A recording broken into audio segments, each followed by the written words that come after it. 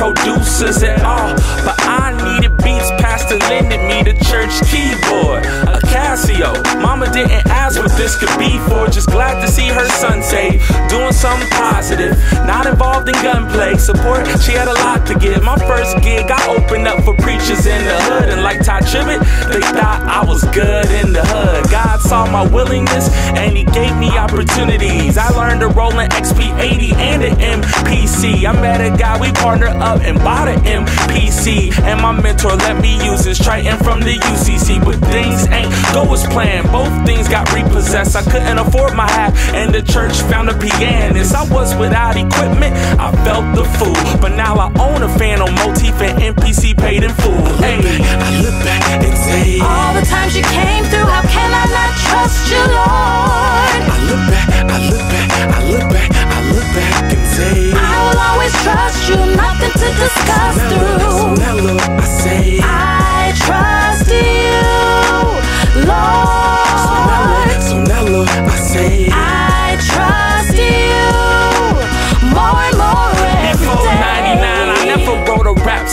Never had the urge to, but one day it came strong.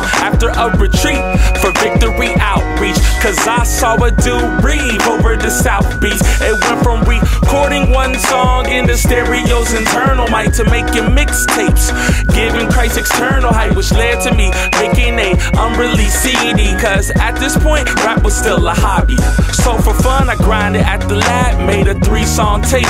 People wanted it, they liked what I was serving on the plate. They asked if I had more, so I made a three song CD. They ate it up, they wanted more. I said, Oh, really? So a year later, I made Threat to Society. The cycle continued, but it grew online to be a huge vehicle to steer thousands to Christ. Getting saved or being encouraged, rejoice, look arise. back, I look back and say, All the times you came through,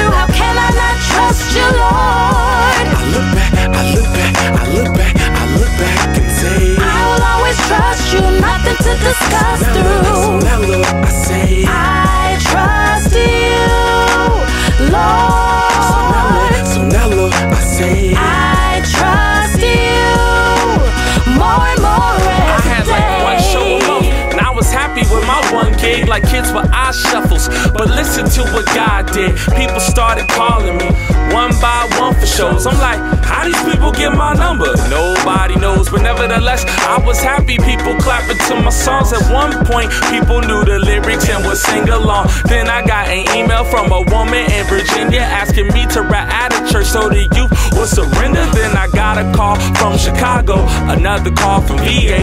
Next off to GA, driving on the E-way, eight hours easy. Driving 19 to Houston from there, flew to San Jose.